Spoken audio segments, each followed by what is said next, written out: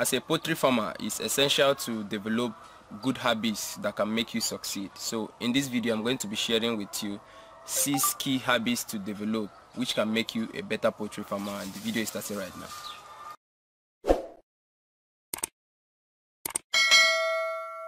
I want to use the next 30 seconds to advertise a service we render over here from the farm. It's called a canvas printing split panels. We have that of 3 in 1, we have that of 5 in 1. It is good for your interior decoration. Those your wall that is just vacant, this kind of stuff is what you need. And this is what we do over here in farm.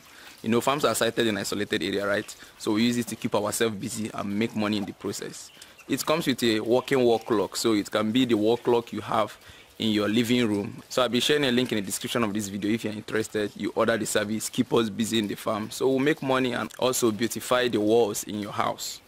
Number one and the most important is consistency. Just as consistency is one of the key habits you need to develop to succeed in various other businesses, this applies in poultry as well. In poultry, you need to develop a routine, a daily routine and stick to it as close and as long as possible. For instance, we, okay, let me not use broiler because our broilers always have feed 247. But for our layers, we feed them in the morning by 7 a.m. and also we feed them in the evening by 3 p.m. And we've done this over time. So once it's 30 minutes to the main time, these birds don't have time, but they know because we've done this over time and we've been consistent with it. Once it's 30 minutes to that time, all the birds within the pen houses start making noise and this noise will continue until their feed is served and everyone is eating. And that's it for that noise for the day. We've done this over time. We've been consistent with it. The best know about it. So any change in routine might affect their development and performance. The second habit you need to develop as a poultry farmer is attention to details. You need to pay keen attention to details to enable you to be proactive you know small things might start some things might start small and then gradually develop into something too much that you cannot handle yourself. So if you pay closer attention to details you might be able to stop whatever thing that needs to be stopped and change whatever needs to be changed and then adjust to things that are needed by this base. And this involves you using all your sense organs. You need to use your sense of sight to observe what's happening sense of smell sense of touch I'm tempted to say sense of test, but if there is need for testing, you can take things to the lab to test. So you need to pay keen attention to details. Then the number three habit you need to develop as a poultry farmer is record keeping.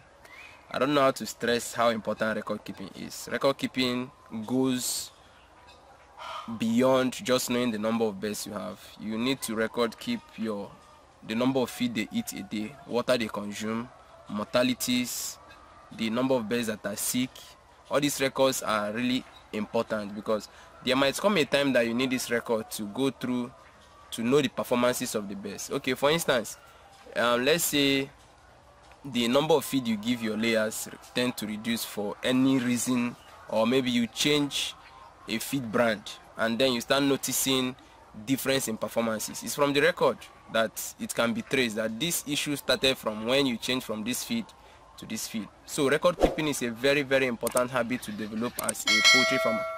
The fourth thing you need to, the first habit you need to develop as a poultry farmer is um, updating your knowledge. Constant learning. Learning never ends. Just the same way, poultry industry is a dynamic business.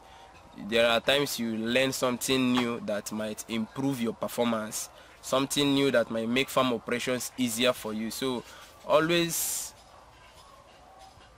be open to attending workshops, seminars, Zoom meeting calls, or watching videos like this to learn something new that will help you improve your farm performances.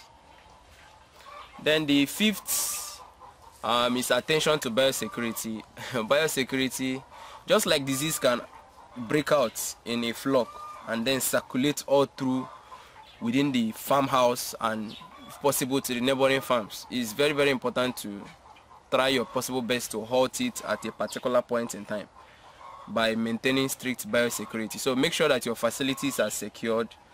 If as much as possible, limit the visits of other farmers to your farm. It's even easier to allow someone who is not into farming to come visit you than allowing a fellow farmer. Although most of these things are not intentional, but um, biosecurity goes way beyond you seeing someone bringing things into your farm. It can be something that the person stepped on from his own farm ignorantly, not on purpose, and the person comes to your farm and somehow that thing is deposited somewhere in your farm. One way or the other, the thing finds its way into your penthouse. Any problem happening in that farm will certainly come into yours.